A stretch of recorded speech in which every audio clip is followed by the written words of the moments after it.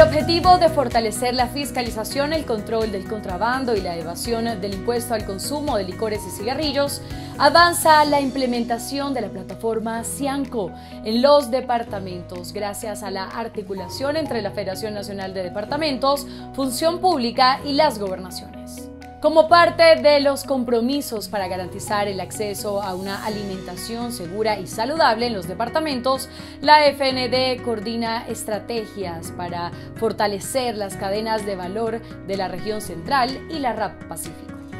Un paquete de propuestas presentó la Federación Nacional de Departamentos al Congreso de la República para fortalecer el proyecto de ley que busca garantizar el derecho a la salud dentro del Sistema General de Seguridad Social. La FND lideró un encuentro virtual con las regiones Caribe, Orinoquía, Amazonía, Eje Cafetero y Pacífico por la sostenibilidad energética y la gestión fiscal en momentos de pandemia. Los equipos técnicos de los departamentos de Guainía, Guaviare, Baupés y Bichada se capacitaron para fortalecer e implementar los planes de seguridad y convivencia ciudadana en los territorios. 195 kits de higiene dental fueron entregados a niños, niñas y adolescentes del municipio de Samacá, del departamento de Boyacá, en el marco de la Jornada Nacional del Cepillado Sonrisas Brillantes, Futuros Brillantes, que ha llevado material educativo y kits de higiene a 14 departamentos.